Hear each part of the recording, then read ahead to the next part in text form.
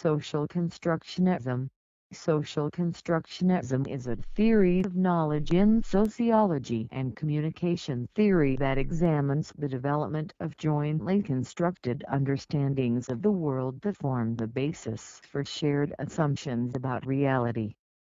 The theory centers on the notion that meanings are developed in coordination with others rather than separately within each individual. Social constructionism questions what is defined by humans and society to be reality.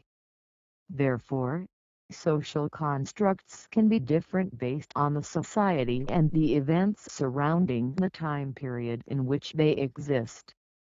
An example of a social construct is money or the concept of currency, as people in society have agreed to give it importance slash value.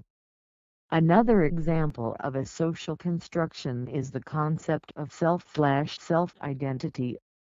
Charles Cooley stated based on his looking glass self-theory, I am not who you think I am.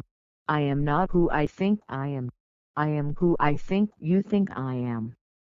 This demonstrates how people in society construct ideas or concepts that may not exist without the existence of people or language to validate those concepts. There are weak and strong social constructs. Weak social constructs rely on brute facts which are fundamental facts that are difficult to explain or understand such as quarks or institutional facts which are formed from social conventions.